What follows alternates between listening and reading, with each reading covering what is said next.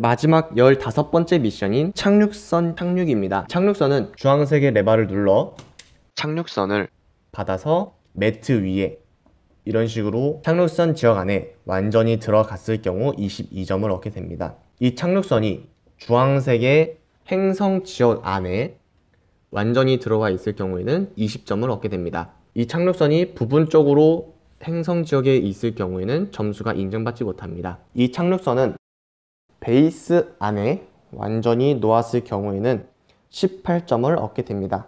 베이스 안에 있을 때는 이 착륙선 위에 모듈이 빠져 있어도 점수가 인정받게 됩니다.